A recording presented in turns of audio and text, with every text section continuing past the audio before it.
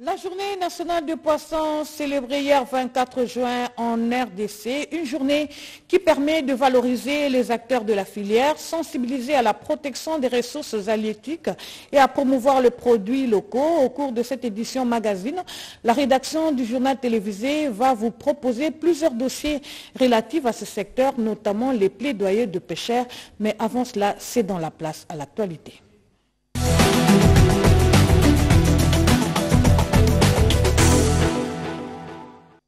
Mesdames et messieurs, bonjour et bienvenue en ce journal magazine, en ce jour dominical sur la télévision nationale. Vous le savez, le chef de l'État, Félix-Antoine Tshisekedi, séjourne dans le Grand Kassai, mais avant de clore sa tournée de Kananga, le président de la République, Félix-Antoine Tshisekedi, avait visité plusieurs chantiers de la ville. Il a commencé par l'ex-Athénée royal de Kananga, où plusieurs bâtiments sont en train d'être construits. Félix-Antoine Tshisekedi s'est ensuite rendu sur le site où sera construite la nouvelle morgue de Kananga et celle de l'université de la même ville. Suivez ce reportage. L'acte 2 du séjour du président de la République à Kananga dans le Kassai central a été marqué premièrement par des audiences. Des personnalités se sont succédées au palais présidentiel, autorités traditionnelles et autorités provinciales. Au menu des échanges, l'État de la province. Ensuite, le président de la République a consacré le reste de la journée à la visite des travaux de construction ou de réhabilitation en cours dans plusieurs chantiers de la ville. Au complexe scolaire Kananga, ex-Athénée Royal, le chef de l'État Félix-Antoine Tshisekedi Chilombo, qui a accompagné le gouverneur de province John Kabea, a palpé du doigt l'évolution des travaux sur ces sites. Il s'agit ici de la construction des bâtiments devant abriter les écoles secondaires dans le cadre des travaux de rénovation de cette école, autrefois le plus beau fleuron de Kananga. Des explications précises lui ont été fournies par les prestataires de l'entreprise GCK pour des travaux financés par la Banque mondiale, partenaire de la République démocratique du Congo. On pourra dire qu'on est dans le 25% de travaux parce que toutes les fondations ont été déjà exécutées et là on est en train de pousser avec l'élévation de murs. On a commencé le travaux, c'était le 3 avril de cette année et on compte le finir normalement au mois de novembre qui est contractuel parce qu'on a huit mois de travaux, mais on se donne corps et âme pour qu'on puisse terminer le travaux début septembre. Heureux de recevoir le garant de la nation dans leur chantier, les ouvriers enthousiasmés ont de très belles manières dit merci à leur hôte pour sa présence.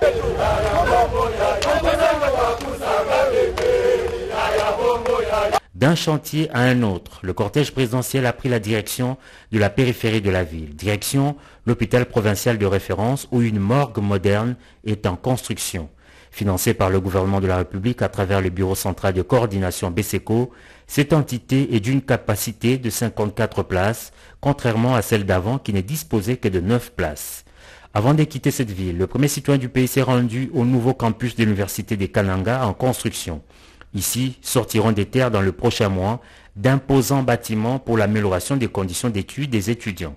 Et le président de la République a donné des instructions aux prestataires pour le parachèvement des travaux dans le délai. Le chef de l'État s'est enfin dirigé vers l'aéroport national de Kananga, direction la province du Kassai oriental.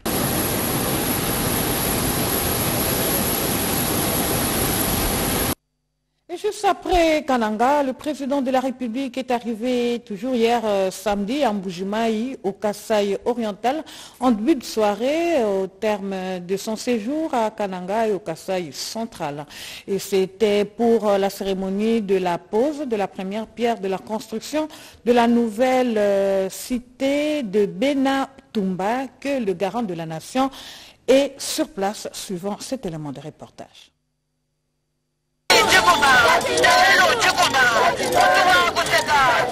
Comme à l'accoutumée, c'est une ville d'Embouchemaille en pleine effervescence qui a accueilli chaleureusement ce samedi 24 juin le président de la République Félix Antoine Tshisekedi Chilombo en visite au travail dans ses chefs-lieux du Kassai oriental après son séjour à Kananga. C'est à 18h, heure locale, que le Boeing présidentiel Simon Kimbangu s'est immobilisé sur le tarmac de l'aéroport de Bipemba. Les officiels provinciaux et ceux venus de Kinshasa Les hommes d'église, les notables et chefs traditionnels du Grand Kassai ont tous fait le déplacement de l'aéroport pour saluer l'arrivée du chef de l'État. Une ambiance festive également au sortir des installations aéroportuaires et tout le long des principales artères où la population mobilisée spontanément est venue avec des chansons et des cris de joie souhaiter la bienvenue au président de la République.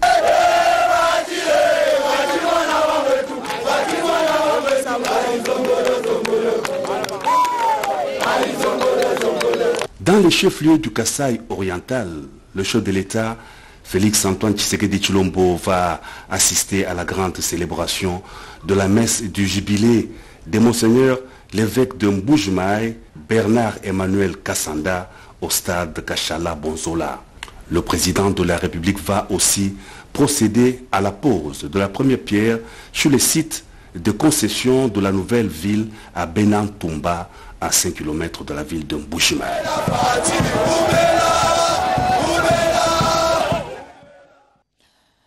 Vous le savez, le Premier ministre Jean-Michel Samalou Konde Kienge est de retour à Kinshasa. Le Premier ministre s'est confié à la presse à l'issue du sommet pour un nouveau pacte financier mondial tenu du 22 au 23 juin à Paris. Le chef du gouvernement congolais s'est montré satisfait de, voir, de pouvoir porter euh, haut la voix de la RDC à ses assises de grande portée économique et financière pour les différents pays du monde, les continents africains en particulier, y compris la République démocratique du Congo. nous en dit la voix de la République démocratique du Congo s'est fait entendre au sommet pour un nouveau pacte financier mondial qui a fermé ses portes ce vendredi 23 juin 2023 à Paris en France. Une satisfaction pour le Premier ministre et chef du gouvernement Jean-Michel Samaloukonde Kienge qui a représenté le chef de l'État Félix-Antoine Tshisekedi Chilombo à ces rendez-vous qui a regroupé plusieurs pays du monde. La République démocratique du Congo, pays solution au problème mondial des réchauffements climatiques, les chefs du gouvernement l'ont souligné lors d'un face-à-face avec la presse. Deux choses ont été mises en exergue à marteler Jean-Michel Samaloukonde Kienge.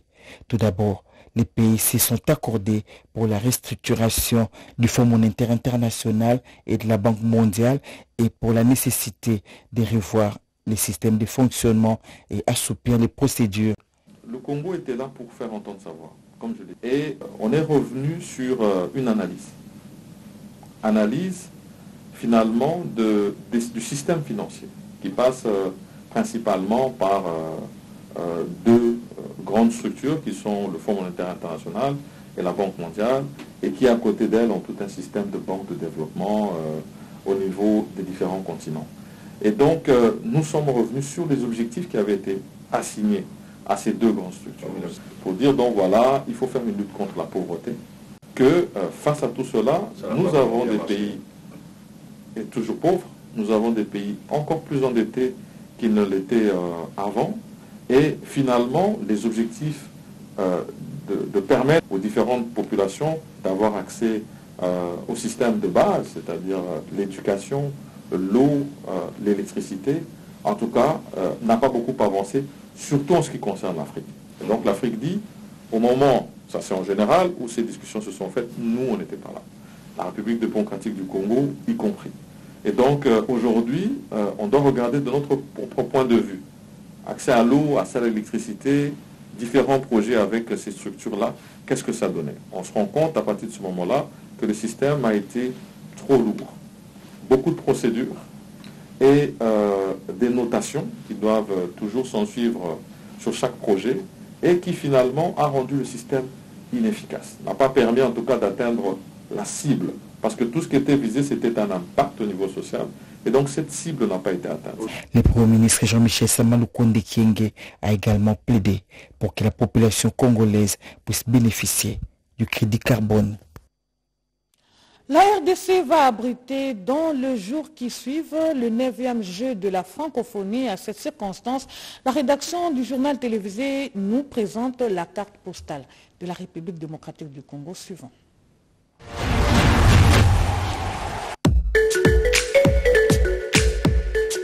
Les 9e Jeux de la francophonie se joueront en République démocratique du Congo.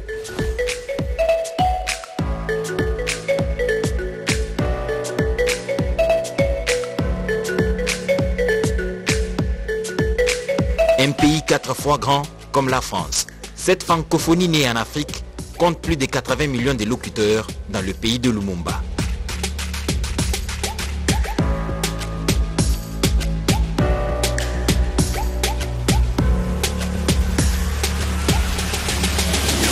Cette colonie du royaume de Belgique, duquel elle a hérité la langue de Molière, devenue un lien de culture et de dialogue des peuples, est au cœur de l'Afrique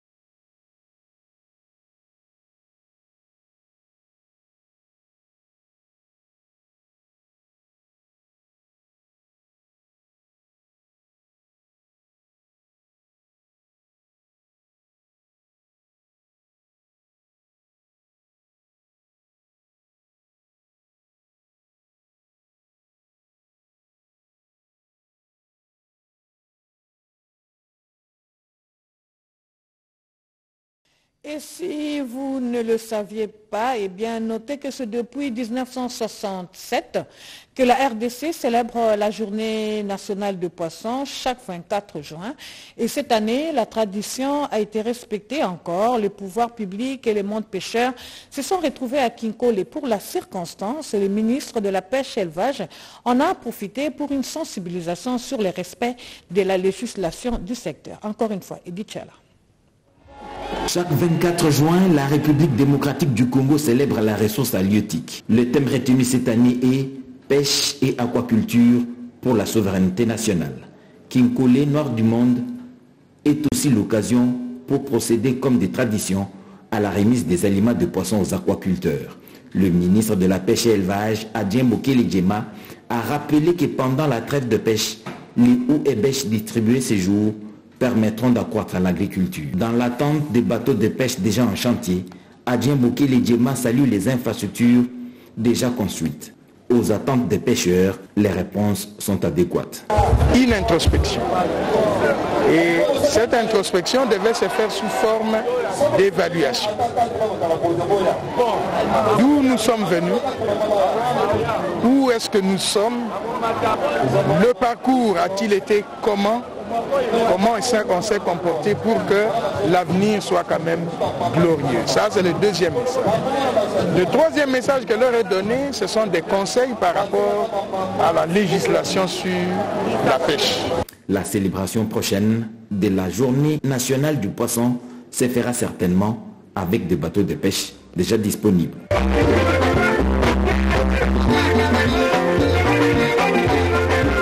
Bonne nouvelle pour la RDC, le gouvernement de la République veut construire un nouveau régime juridique favorable à la passation de marchés spéciaux pour l'armée, la police et le service de sécurité. Et c'est dans cette optique que s'est ouvert hier à Kinshasa un atelier chargé de l'élaboration du projet du décret portant mesures d'encadrement de marchés spéciaux en RDC. Le détail avec notre confrère Rikinzo Siloya. La passation des marchés spéciaux représente un enjeu majeur de la souveraineté en termes de développement sécuritaire et de la protection du territoire national. Cette évidence charge le gouvernement à disposer d'un régime juridique efficace et spécifique.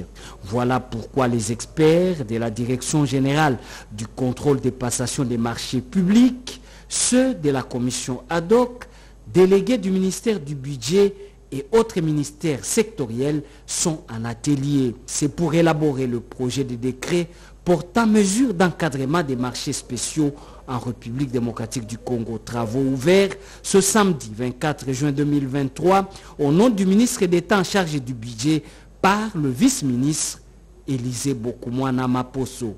Depuis des décennies, la loi relative au marché public n'a pas réglementé d'une manière concrète les marchés spéciaux relatifs à l'armée, à la police et aux services de sécurité. Concrètement, là-bas, projet de décret portant mesures d'encadrement des marchés spéciaux en République démocratique du Congo a entre autres pour finalité de promouvoir les bonnes pratiques et d'outiller les praticiens. Ce texte va lever l'équivoque des faiblesses relevées dans la loi numéro 10, bar 010 du 27 avril 2010 relative au marché public. Autre chose à présent, la municipalité de Massina et son bourgmestre Joseph Chikou Katumba ont procédé à la présentation des engins et également à la remise de matériel d'assainissement aux responsables de quartiers de rue de la dite commune C'était dans le cadre de l'opération Kinbopeto. Des motos et d'autres outils d'assainissement présentés et remis aux 21 chefs de quartier de rue par le bourgmestre de la municipalité urbano-rural de Massina, Joseph Choukou Katumba. Ce geste s'inscrit dans le cadre de l'opération Kinbopeto. Il y a un message qui a été lancé par le chef de l'État, par le gouverneur de la ville. C'est un message que nous lançons à la population, de se prendre en charge. La population doit contrôler tout ce qu'il y a comme mouvement au niveau des quartiers, au niveau des avenues. Nous sommes en train de crier à nos chefs de quartier, chefs d'avenue, aux habitants de Massina, de rendre leur environnement propre. Déjà, nous, on montrer l'exemple. Quelques responsables de quartier n'ont pas manqué de livrer leurs impressions. Nous remercions le bourgmestre Joseph Chikou Katumba et son adjoint Galema pour tout ce qu'ils sont en train de faire. Ils emboîtent le pas au président de la République, Félix Antoine Tshisekedi. On s'est plaigné depuis longtemps pour que nous ayons des outils de travail pour l'assainissement de nos quartiers. Le bourgmestre Joseph Chikou Katumba a insisté sur la bonne utilisation de ces matériels d'assainissement afin que la municipalité de Massina soit rendue propre.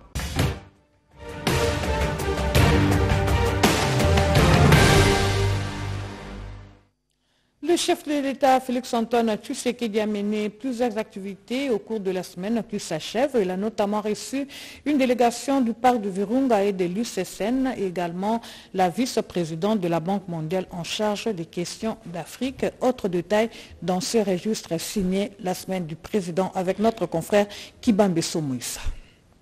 Madame Victoria Kwakwa, vice-présidente de la Banque mondiale pour l'Afrique de l'Est et de l'Austral a séjourné à Kinshasa en mission officielle en République démocratique du Congo. Le président de la République, Félix Antoine Tshisekedi Chilombo, l'a reçu pour des entretiens à la Cité de l'Union africaine. Au sortir de cette entrevue, Madame Kwakwa a indiqué que sa mission au pays s'inscrivait dans le cadre du suivi de l'évolution de plusieurs projets qu'elle soutient la Banque mondiale en RDC. Toujours dans son cabinet de travail à la Cité de l'Union africaine, le président de la République a eu des entretiens en début de semaine avec Xavier Dedoneya, administrateur du parc de Virunga et président du parc de la Garamba, et Emmanuel Demerode, conservateur du parc national de Virunga et directeur provincial de l'Institut congolais pour la conservation de la nature.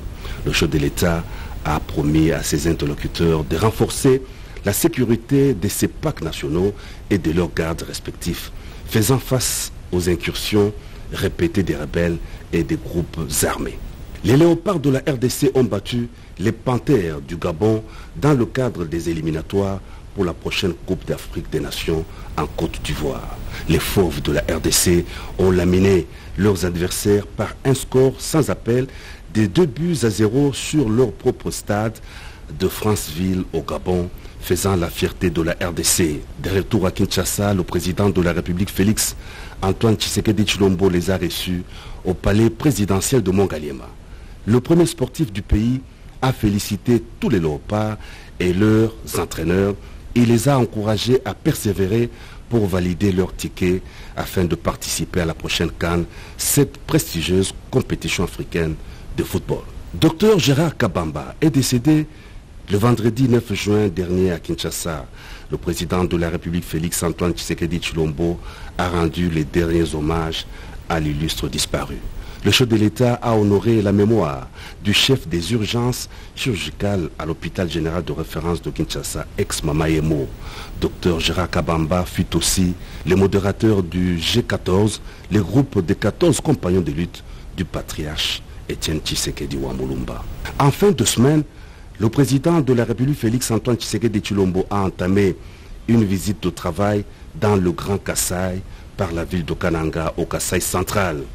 Comme à l'accoutumée, la population kanangaise a accueilli chaleureusement le chef de l'État de l'aéroport et tout le long de l'artère principale de la ville. À Kananga, le chef de l'État a procédé au lancement des travaux de lutte anti-érosive sur le site de la gare de la Société nationale de chemin de fer du Congo. Il s'agit des travaux d'urgence financés à hauteur de 100 millions de dollars américains dans le cadre du projet d'urgence et de résilience urbaine de Kananga, première étape de la visite d'itinérance du chef de l'État avant la ville d'Mbouchmaï au Kassai oriental. Neuvième jeu de la francophonie, la radio-télévision nationale congolaise tient à relever les défis dans la retransmission. Un lot de matériel de haut de gamme a été réceptionné par l'équipe dirigeante de cette chaîne. Les Congolais bloqués au Soudan sont évacués graduellement pour gagner leur mère patrie. Surpopulation carcérale à Makala, célébration de la 41e édition de la fête de la musique, ces sujets et bien d'autres ont marqué la semaine qui vient de s'achever. En voici le résumé dans cette séquence signée Semaine en 5. Dans l'affaire Matata Pogno, le procureur général près la Cour constitutionnelle a saisi de nouveau les bureaux du Sénat pour solliciter l'autorisation d'instruction judiciaire à charge du sénateur Matata Pogno. Le procureur général motive sa demande par l'existence des faits nouveaux contenus dans un rapport des inspecteurs des finances, membres de la commission des contrôles sur la gestion du parc agro-industriel de Bukangalonzo. Le président du Sénat, quant à lui, estime que l'ancien premier ministre a déjà été mis à la disposition de la justice et qu'il n'est pas nécessaire d'autoriser pour la deuxième fois le poursuite à son endroit. Bientôt, un cadre juridique sera mis en place en République démocratique du Congo pour renforcer la lutte contre la corruption. La ministre de la Justice l'a mentionné au cours du forum de l'Alliance anticorruption tenue à Abidjan, en Côte d'Ivoire, du 14 au 16 juin dernier. Surpopulation carcérale à Makala. Le problème est récurrent et les conditions de vie des détenus sont inhumaines. Le président de la Commission nationale des droits de l'homme a, au cours de sa dernière visite dans la prison centrale de Makala, déploré ces conditions et a promis de mener un plaidoyer auprès des autorités compétentes. 26 compatriotes ont quitté le Soudan le mercredi matin pour regagner les pays. Malheureusement, la trêve a été violée et les combats ont repris. Ces compatriotes sont à la frontière vers l'Égypte et les évacuations sont conduites par l'ambassadeur de la République démocratique du Congo en Égypte, qui du moins rassure que ses filles et fils du pays sont hors du danger et que la communication avec le gouvernement est maintenue. Renforcement des partenariats Banque mondiale RDC. Un portefeuille de 9 milliards de dollars américains est alloué à la République démocratique du Congo. C'est un financement pour appuyer les efforts de développement dans la gratuité de l'enseignement. La nouvelle a été donnée au cours d'une séance de travail qu'a eu le Premier ministre et la vice-présidente de cette institution chargée de l'Afrique de l'Est et Australe. Chaque 19 juin, le monde célèbre la journée des luttes contre la drépanocytose. À cette occasion, plusieurs manifestations ont été organisées. À Kinshasa, les associations et ONG qui encadrent et militent pour le droit des personnes vivant avec la drépanocytose se sont réunies à l'Institut national pilote d'enseignement des sciences et santé. Présent, le ministre de la Santé a promis de tout mettre en œuvre pour la révision à la baisse des produits pharmaceutiques des drépanocytaires et de se battre pour que cette maladie soit intégrée sur la liste des celles prises en charge par la couverture santé Une autre célébration, c'est celle de la musique. C'était le mercredi 21 juin. Cette année, le monde a commémoré la 41e édition de la fête de la musique. Celle-ci a été instaurée en 1982. Dans son message, la ministre de la Culture s'est réjouie du fait que la rumba congolaise soit placée sur la liste représentative du patrimoine culturel immatériel de l'humanité de l'UNESCO. Évaluation de l'état des sièges, plan des transitions de la MONUSCO. Un briefing a été co-animé sur les antennes de la chaîne nationale par le ministre de Médias et la représentante spéciale du secrétaire général de l'ONU en République démocratique du Congo. Pour cette dernière, il faudrait plutôt parler d'un plan de transition conjoint entre le gouvernement, les Nations Unies et la MONUSCO. Nouvelle ère commence à la chaîne nationale. Elle vient d'être dotée d'un lot de matériel pour mieux servir son public et assurer la couverture médiatique du 9e jeu de la francophonie qui pointe à l'horizon. Quatre quarts des reportages avec faisceaux, des caméras et autres matériels des technologies de pointe ont été réceptionnés ce vendredi matin par l'équipe dirigeante de la RTNC.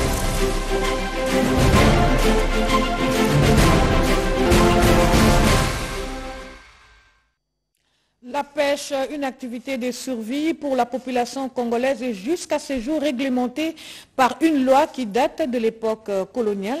Une raison pour le pêcheur du site de Kinkole de plaider pour la mise à jour ou l'élaboration d'une nouvelle loi.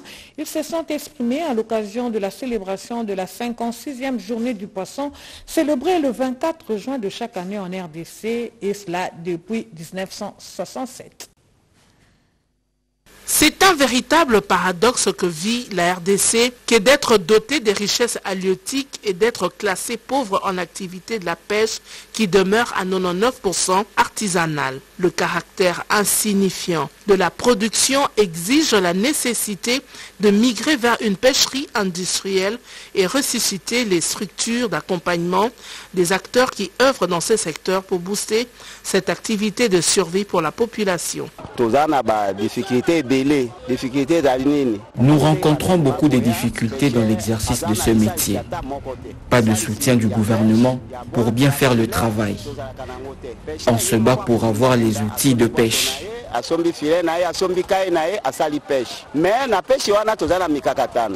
ya bambonge ya bambula mpo na kozwa mbisi ifo sala butu mobimba te tongo nde ozwa mbisi ya koya koteka nde tozosenga boye Nous demandons au ministre de Pêche que la distribution des outils de la pêche se fasse dans tous les sites de Kinshasa pour éviter les détournements.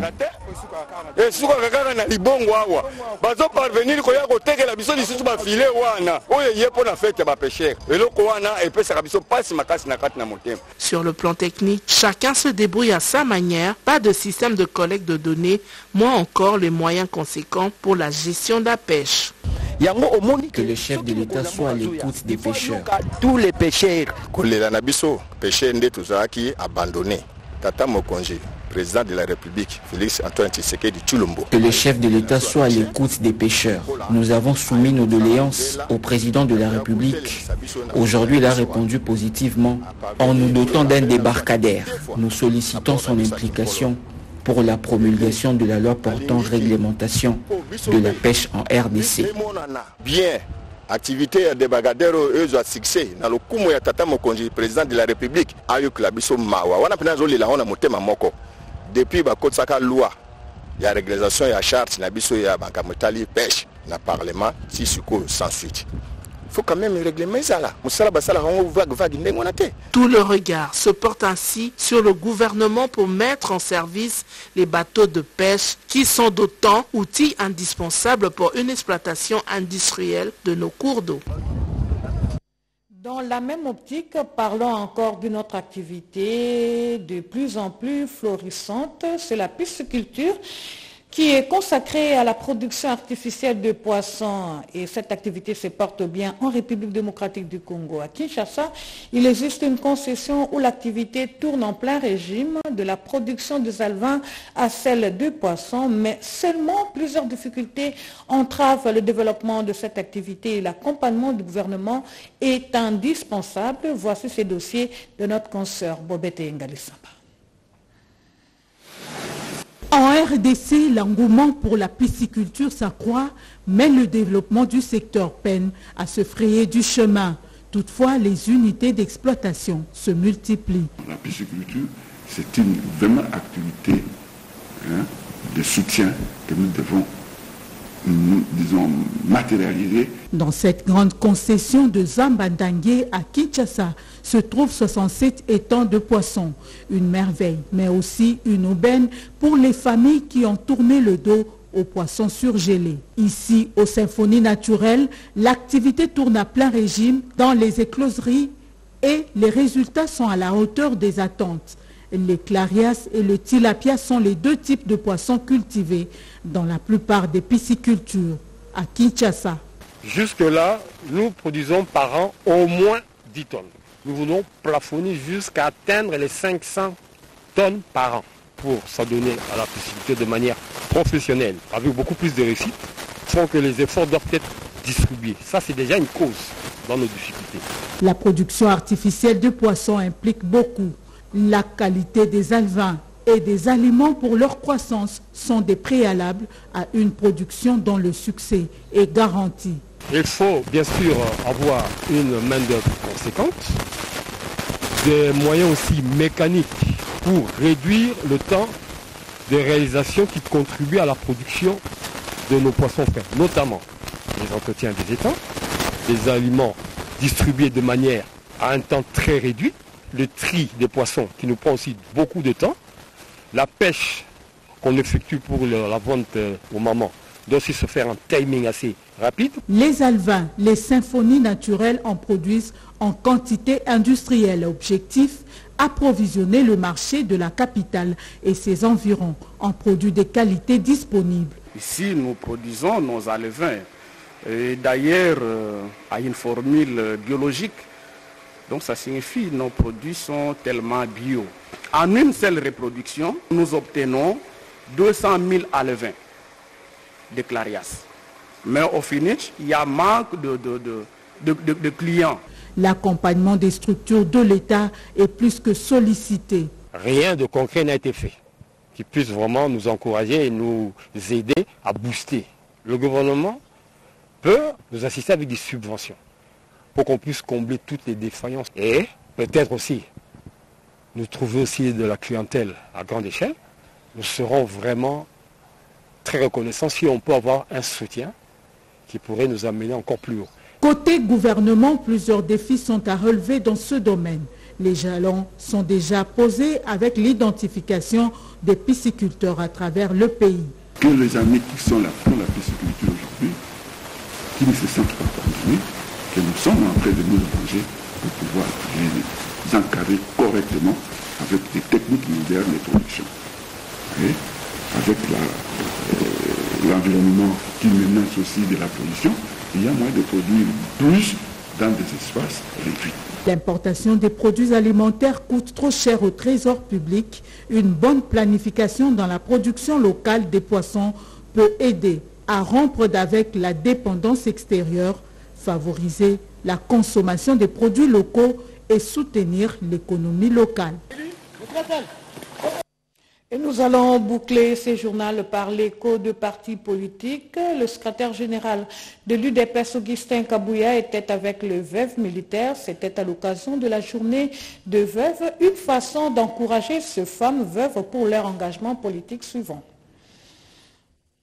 Chaque 23 juin de l'année, l'humanité célèbre la journée internationale des veuves. C'est dans cette optique que le secrétaire général de l'Union pour la démocratie et le progrès social, UDPS, a tenu à honorer ces femmes militantes pour leur engagement politique, une façon de prouver à la fin du monde qu'elles occupent une place de choix. Cette célébration a donné lieu à un moment d'intense prière, d'intercession en faveur du chef de l'État Félix Antoine Tshisekedi Chilombo.